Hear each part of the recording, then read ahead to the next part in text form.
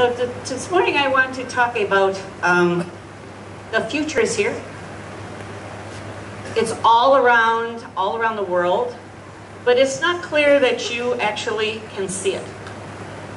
But you will see it in the next few years.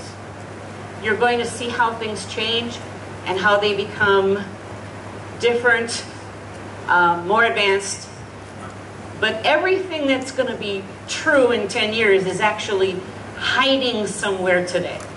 So I'm going to talk about seven things that exist today that uh, I predict will be your future in the next decade. You will see them all become increasingly important and change the way you think about software engineering.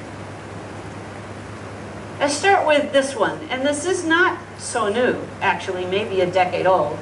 And it's the concept of scaling out. So if you have too many penguins, you go find another beach. Um, it used to be, let's say 1996, so we're going to go back 20 years, that business software